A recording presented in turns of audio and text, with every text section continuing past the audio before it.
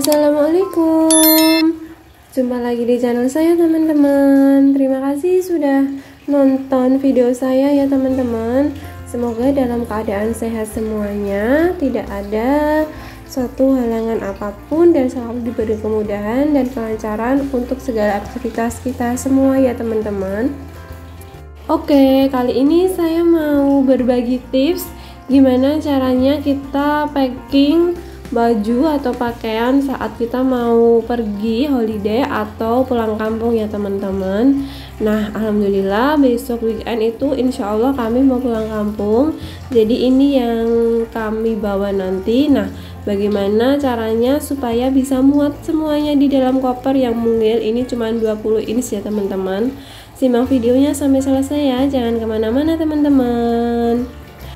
Oh iya ini sebelum kita mempacking dengan cara yang baru atau yang lebih lebih bisa muat banyak dan lebih rapi ini saya mau packing baju menggunakan cara yang lama terlebih dahulu ya teman-teman. Jadi nanti kita bisa memperbandingkan uh, kita bisa lebih rekomend yang mana gitu ya. Nah ini itu saya langsung masukkan baju-baju yang mau saya bawa lumayan banyak ya. Nah hasilnya tuh seperti ini teman-teman. Jadi dia berantakan banget asal numpuk gitu. Dan sampai lumayan susah buat resletingin ya teman-teman. Meskipun bajunya sudah sama ditekan-tekan tapi tetap juga susah seperti ini. Sehingga kita perlu mengupdate lagi gimana caranya supaya koper kita bisa muat lebih banyak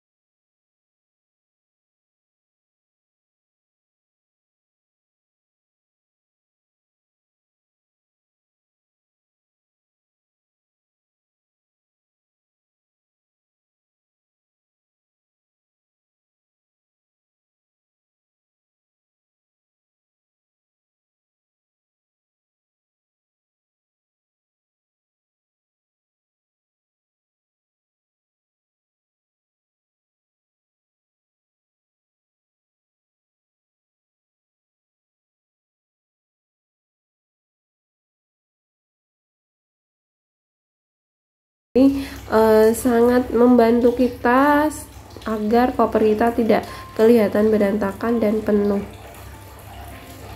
Ini saya ulangin lagi untuk yang bagian kaos. Saya menggunakan cara seperti ini semua ya teman-teman. Jadi si kaosnya kita lipat yang bagian bawah ke depan seperti ini. Kalau misal bingung bisa dibuka seperti ini ya teman-teman. Jadi ditata sendiri dipaskan sendiri Mungkin untuk sebagian dari kita ada yang berpikir kalau cara seperti ini tuh merepotkan ya teman-teman.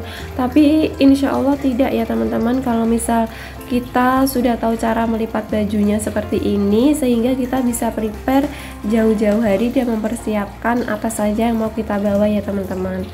Nah ini tuh uh, selain membantu banget kita koper muat banyak kita juga bisa mempermudah ya saat pengambilan nanti kemudian ini saya ganti ke yang kemeja lengan pendek. Ini saya lipat seperti biasanya.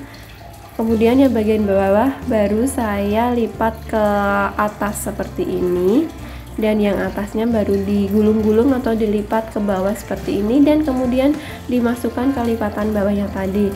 Kalau misal teman-teman mau menggunakan cara yang sama dengan yang kaos tadi itu bisa ya. Cuman uh, hasilnya itu agak lebih besar sehingga saya menggunakan cara yang seperti ini.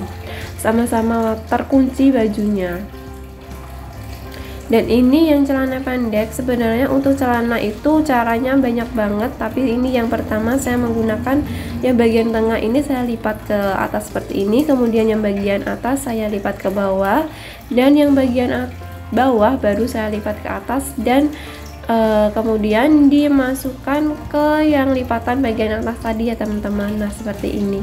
Ini mudah banget dan e, bisa lebih rapi nanti ke covernya ya.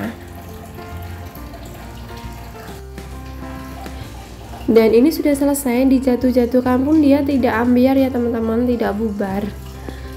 Jadi aman banget saat di perjalanan nanti. Kemudian ini untuk celana panjang jeans. Saya yang bagian atas saya uh, lipat ke kanan kemudian yang atas digulung-gulung seperti ini. Dan yang lipatan ke kanan tadi kita gunakan buat memasukkan gulungan yang di atas tadi ya kemudian ini saya ada cara yang ketiga untuk melipat celana panjang. Jadi yang bagian satunya yang atas itu dilipat ke kanan kemudian yang bagian atas dilipat ke bawah yang bagian bawah dilipat ke atas dan yang bagian ke kanan tadi kita lipat seperti ini dan kita masukkan ke selipan celananya ya teman-teman. Ini lebih tipis tapi kalau untuk yang jeans ini tidak cocok ya teman-teman kemudian ini untuk yang kemeja lengan panjang ya e, caranya. Saya menggunakan cara yang seperti ini. Jadi hampir sama kayak yang kaos tadi tapi ini saya menghadap ke depan ya untuk kancingnya atau atau bagian depan. Kemudian digulung-gulung dan kita masukkan atau kita kunci dengan uh, lipatan yang di bawah tadi sebenarnya caranya itu hampir sama semua ya. Yang membedakan itu cuman untuk yang celana. Karena celana itu banyak banget caranya teman-teman. Uh, kita tinggal bisa milih mau cara yang mana untuk bahan yang apa. Jadi kita bisa membedakan caranya itu menyesuaikan jenis bahan kita. Nah ini untuk yang dress pun sama cara melipatnya kayak yang kaos tadi ya dan mungkin untuk sebagian orang takut kalau dressnya jadi lecek ya. Tapi insya Allah enggak ya teman-teman. Asalkan kita melipatnya sesuai dan tidak digulung-gulung gitu ya. Tapi ini kan lipatan sehingga uh, bisa tidak mengakibatkan lebih buruk lagi. Nah untuk setelan anak ini saya jadikan satu seperti ini teman-teman. Jadi nanti kita bisa lebih enak saat mau ngambil. Tinggal ambil satu sudah dapat kaos dan celana.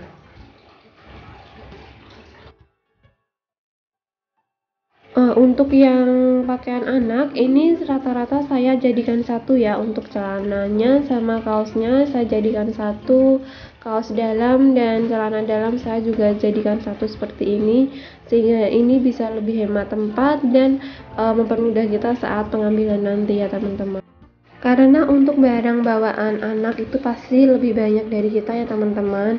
Harus kita lebihkan dari kita karena uh, di tempat atau di luar itu kan kita tidak bisa memprediksi ya anak harus seperti ini seperti itu sesuai dengan rencana kita.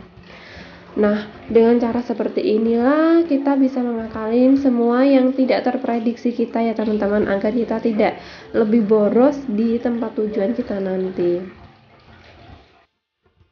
dan ini saya melipatnya itu kalau misal ada yang bisa dijadikan satu biasanya saya jadikan satu ya teman-teman. Seperti tadi pakaian anak dan ini pun pakaian suami ya. Jadi yang celana pendek saya jadikan satu sama celana dalam seperti ini. Sehingga nanti tinggal ambil celana satu udah dapat celana dalam juga seperti ini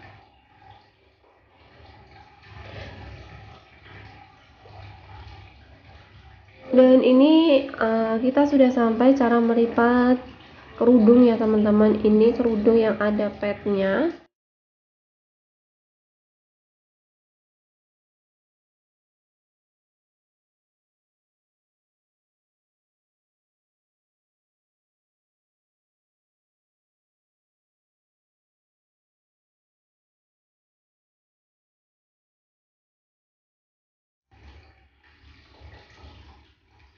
bagus banget ya teman-teman. Nah ini tidak hancur juga kalau kita jatuh-jatuhkan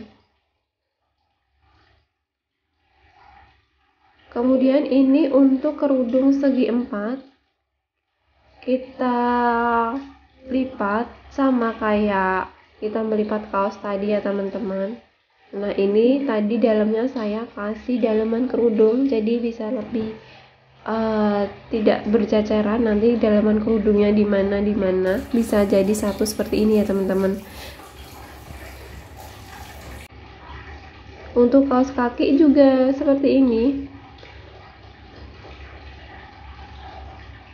Nah bagus banget. Jadi kecil banget gitu. Nah ini saya sudah selesai melipatnya. Kemudian tinggal saya masuk-masukkan ke dalam koper ya. Untuk penataan di kopernya itu kita bisa ambil angel yang terbaik bagaimana dan e, menyesuaikan keinginan kita gitu ya teman-teman. Yang penting bisa muat lebih banyak dan lebih rapi. Ini saya yang bagian kiri itu saya hadap ke bawah seperti ini ya. Jadi uh, horizontal.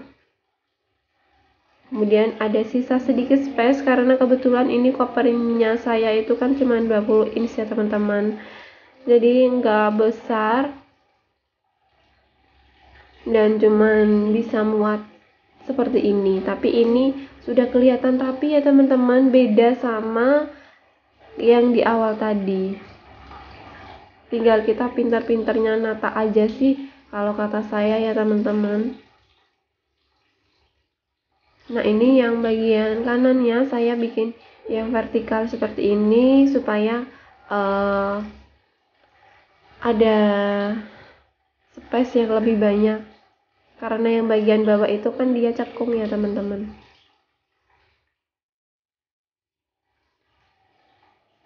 Nah ini udah selesai teman-teman. Ini masih ada sisa space.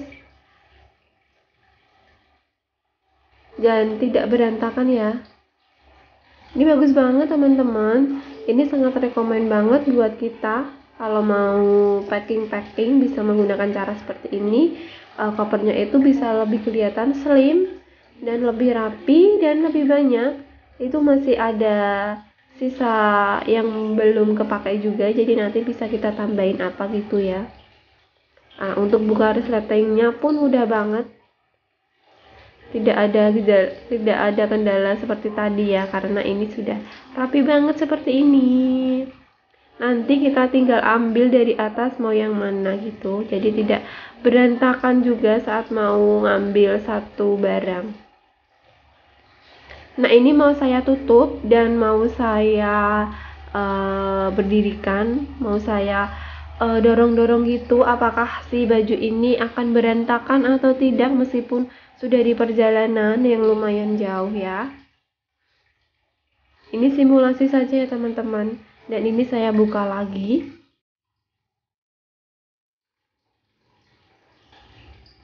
Dan tara, tetap bagus banget teman-teman, tidak berantakan. Jadi ini dokumen banget saat kita mau packing ya teman-teman dan ini tuh bisa kita praktekkan kalau kita menggunakan tas ya saat mau bepergian. Oke teman-teman, terima kasih. Semoga bermanfaat dan jangan lupa dibantu di subscribe ya teman-teman. Wassalamualaikum warahmatullahi wabarakatuh.